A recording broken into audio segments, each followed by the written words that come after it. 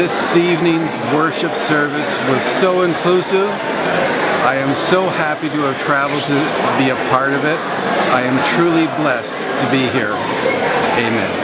This was great. This is a beautiful space to gather in.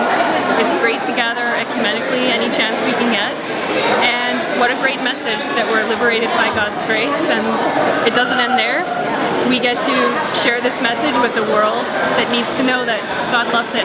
Uh, I thought it was a very beautiful service. Uh, uh, coming together of a bunch of different uh, faiths and uh, a very joyous event in a beautiful building.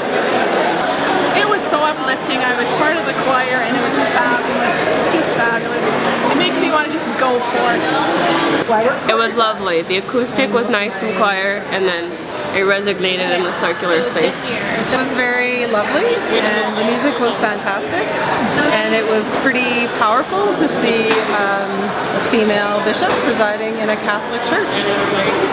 Um, I thought this service was awesome. It made me feel really thankful and um, lucky to be part of this church community, like my congregation, the synodical church, and the national church, as well as the World worldwide church. So, so yeah, it just made me feel awesome to be part of such such an awesome community.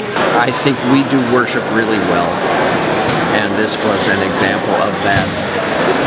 It was honest, it was hopeful, it acknowledged that we have a ways to go,